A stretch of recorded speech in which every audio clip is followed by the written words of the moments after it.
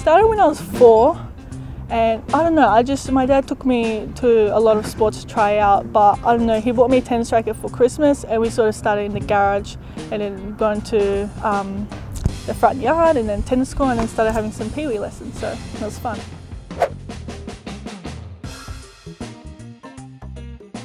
Well, I guess it depends what part of the day I'm playing, I guess. So I'll just, I'll try not to eat too much. Maybe a sandwich or something mostly, or in the morning maybe some eggs or something. Yeah, that's about it, I guess.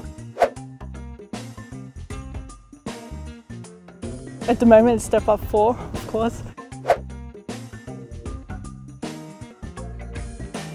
Probably my favourite, Serena Williams. Yeah.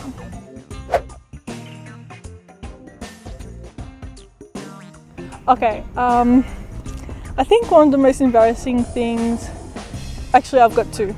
This year at the Australian Open, when we were playing our, um, our doubles, main draw, and I don't know, for some reason I decided to hit the ball before it went over the net, so I sort of hit it over the net. And that was just, to me, to my partner, I just, I felt so embarrassing and I don't know, it's just, you gotta be there to see it.